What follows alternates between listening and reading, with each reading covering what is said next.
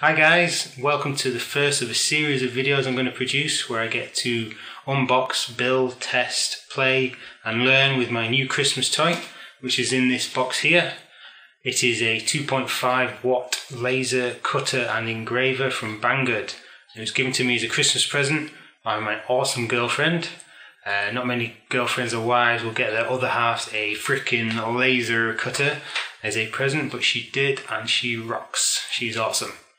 Um, but enough of that soppy stuff. Let's see what's in the box.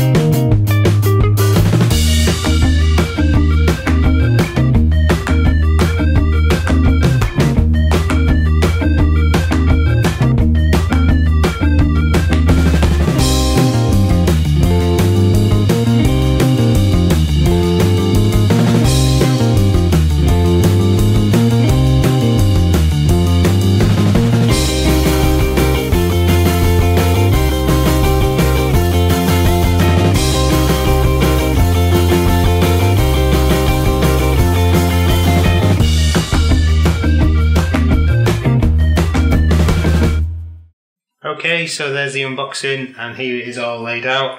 Uh, everything appears to be here, nothing appears to be broken.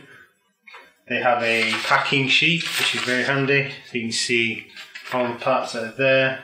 There is a bobbin, whatever that means. I assume it's this cable tie, could be wrong.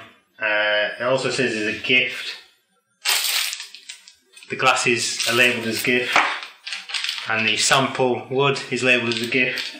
There's a few videos out there uh, where they have a little USB light as a gift as well. I don't know. Um, but yeah, that's everything boxed, unboxed and laid out. And in the next video, we'll start building it. Uh, if you like this, don't get, don't forget to give it a thumbs up, and I'll see you next time.